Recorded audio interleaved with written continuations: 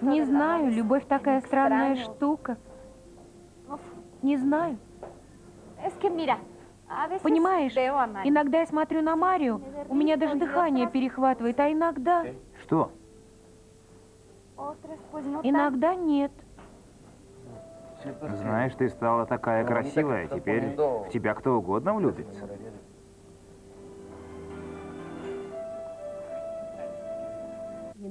И тут я поняла, что Миллер все знает. Он очень хорошо описал мне состояние Сезара Августа. Мы должны быть очень осторожны, Мануэль. Миллер выразился довольно ясно. Мы должны все как следует взвесить, прежде чем говорить ему.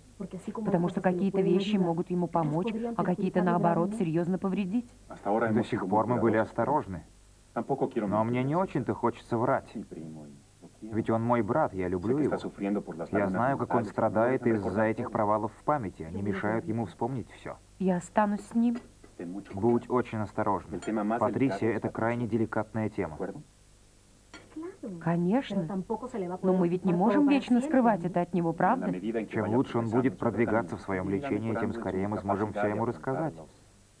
Но тогда он воспримет это гораздо спокойнее. Ты, конечно, не пошла на анализы. Нет. А могу я узнать, почему? Рубен, или ты пойдешь со мной, или я не пойду. Ладно, пошли в понедельник. Не получится. Почему? Завтра я уезжаю с подругами в Акапулько. Значит, ты уезжаешь с подругами в Акапулько. И когда ты вернешься? Не знаю. Когда мне надоедят море и солнце. Пожалуйста, Мануэль, расскажи мне об этом браке, пока его нет. Как же Сезар Августо мог жениться? Я не знаю. Я и сам толком не понимаю. По-моему, они поженились в Штатах. Но ведь он уже женат. Этот брак недействителен. Мы не можем вмешиваться.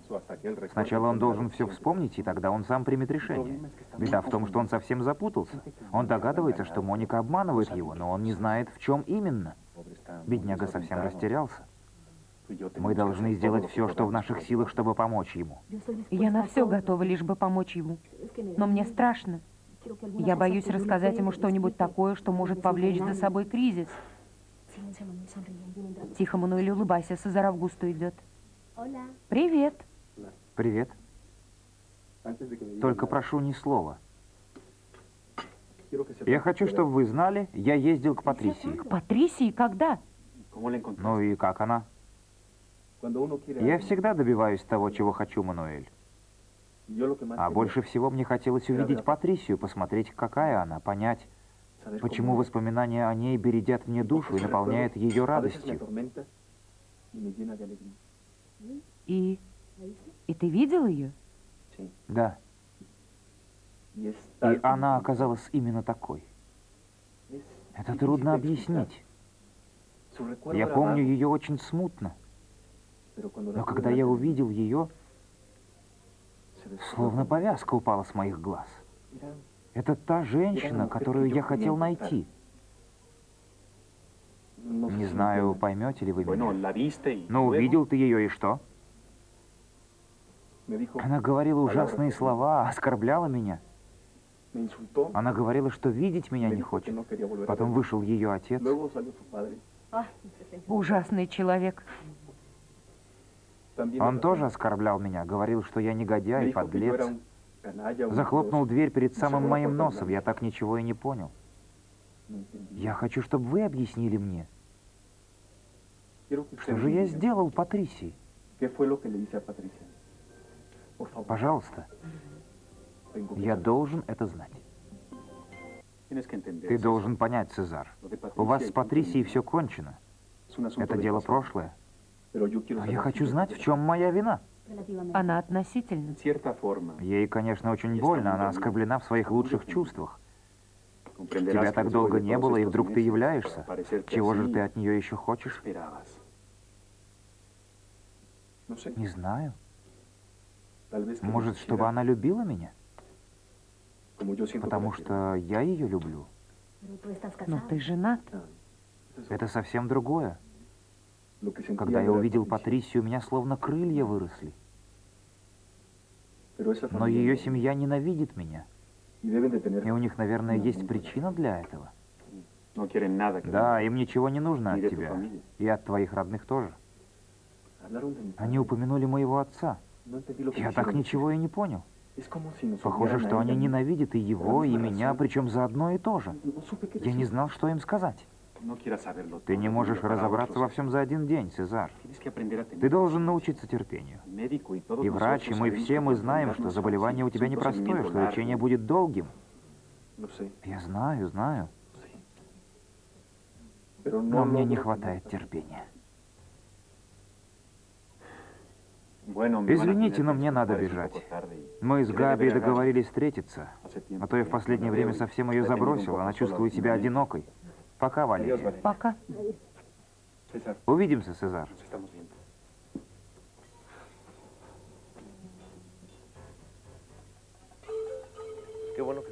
Как хорошо, что ты согласилась, Адет. Это был чудесный вечер, Рейнальдо. Да, а может, когда-нибудь повторим? Что скажешь? Я с удовольствием.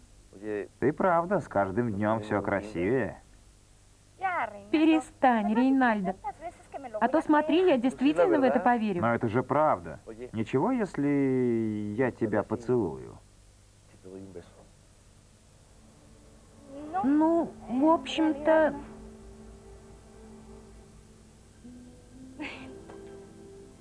Ладно, пока. Спасибо.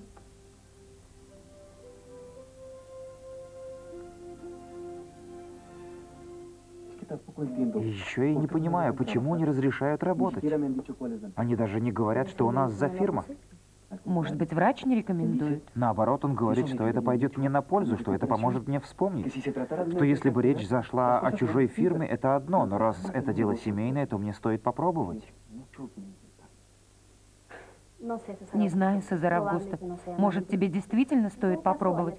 По крайней мере, там всегда найдутся люди, которые помогут тебе. И еще я хотела поговорить с тобой о том, что беспокоит Мануэля. Ты ведь помнишь, что оставил ему все свое состояние?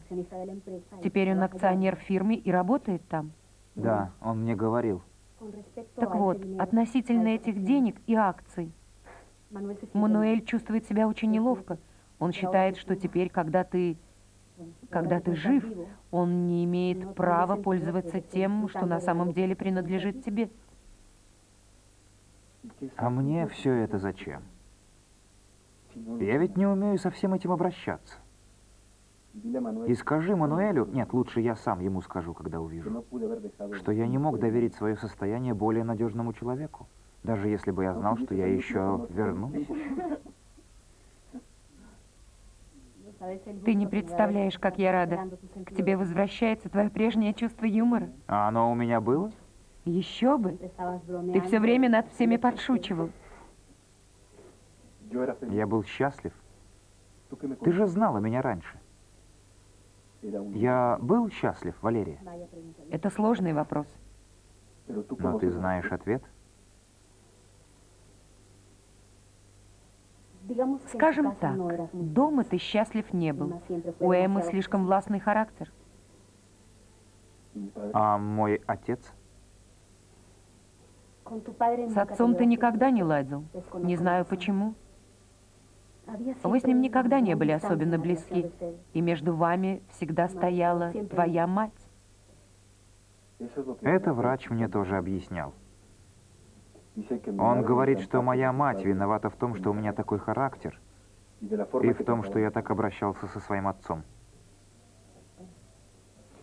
Ну, ты еще успеешь во всем этом разобраться и со всеми примириться.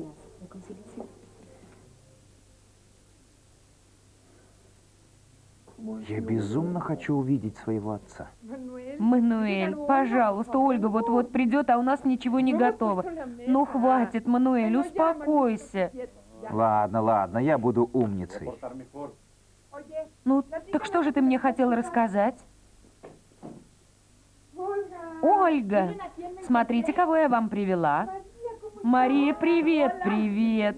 Добро пожаловать. Я на минуту, надеюсь, я вам не помешала. Ну что ты? Мы ждали Ольгу, чтобы сесть за стол. Составишь нам компанию? Мне как-то неловко. Оставайся, Мария, у меня здесь еды на целый полк хватит. Ну, раз вы настаиваете, иди сюда.